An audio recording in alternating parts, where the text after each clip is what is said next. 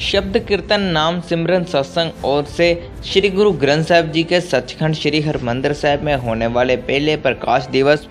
पर समर्पित शब्द कीर्तन नाम सिमरन सत्संग श्री अमृतसर की ओर से श्री हरमंदिर साहिब के प्रबंधकों के सहयोग के साथ हर वर्ष की तरह इस वर्ष भी महीना भर चलने वाले जीवन जुक्ति समागम 10 अगस्त से 10 सितंबर तक मनाए जाने की रूपरेखा तैयार की गई। इस अवसर पर जानकारी देते हुए राजेंद्र सिंह ने बताया कि समागमों की शुरुआत माता माता कोलाजी मिशन हॉस्पिटल से की जाएगी और समागमों की आखिरी अंतर्गत 9 सितंबर को गुरुद्वारा रामसर में सुबह से शाम तक कीर्तन दरबार सजाया जाएगा और 10 सितंबर को प्रकाश पूर्व के दिन श्रोमणी कमेटी की तरफ़ से सोसाइटी और संतों के सहयोग से विशाल नगर कीर्तन सजाया जाएगा। ਸਾਡੇ ਦੇ ਪਹਿਲੇ ਪ੍ਰਕਾਸ਼ ਗੁਰਪੁਰਬ ਇਸ ਵਾਰ ਜੋ ਪ੍ਰੋਗਰਾਮ ਲਿਖਿਆ ਗਿਆ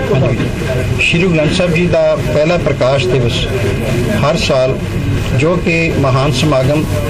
ਸੱਚਖੰਡ ਸ਼੍ਰੀ ਹਰਿਮੰਦਰ ਸਾਹਿਬ 'ਚ ਪਹਿਲੀ ਵਾਰ ਪ੍ਰਕਾਸ਼ ਕੀਤਾ ਜਾਂਦਾ ਹੈ। ਇਸ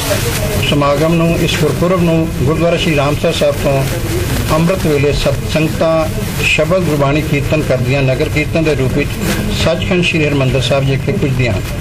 ਇਸ ਸਮਾਗਮ ਦਾ ਘਰ ਘਰ ਸੁਨੇਹਾ ਦੇਣ ਵਾਸਤੇ ਅਸੀਂ ਸ਼ਬਦ ਕੀਰਤਨ ਨਾਮ ਸਿਮਰਨ ਸਤਸੰਗ ਵੱਲੋਂ, ਸੰਸਥਾ ਵੱਲੋਂ ਤਕਰੀਬਨ 1 ਮਹੀਨਾ ਪਹਿਲਾਂ ਸ਼ਹਿਰ ਦੇ ਵੱਖ-ਵੱਖ ਗੁਰਸਥਾਨਾਂ ਤੇ ਇੱਕ ਗੁਰਮਤ ਸਮਾਗਮਾਂ ਦੀ ਲੜੀ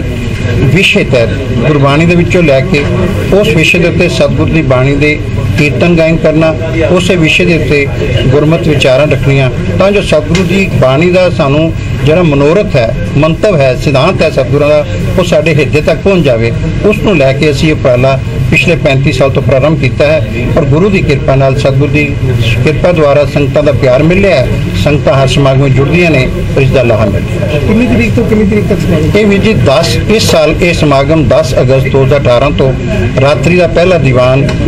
ਮਾਤਾ ਕੌਲਾਂ ਜੀ ਮਿਸ਼ਨ ਅਸਵਾਲ 100 ਫੁੱਟੀ ਸੜਕ ਈਸਟ ਮੋਹਨ ਰੋਡ ਤੇ ਉੱਥੇ ਪ੍ਰਾਰੰਭ ਕੀਤਾ ਜਾ ਰਿਹਾ ਜੀ ਅਤੇ ਮਹੀਨਾ ਭਰ ਚੱਲਣ ਵਾਲੇ ਸਮਾਗਮ ਵਿੱਚ ਜਿਹੜਾ ਮੁੱਖ ਮੰਤਵ ਸਾਡਾ ਮੁੱਖ ਸਮਾਗਮ ਹੈ 9 ਸਤੰਬਰ ਐਤਵਾਰ ਦੇ ਦਿਨ ਸ਼੍ਰੀ ਗੁਰੂ ਗ੍ਰੰਥ ਸਾਹਿਬ ਜੀ ਦੀ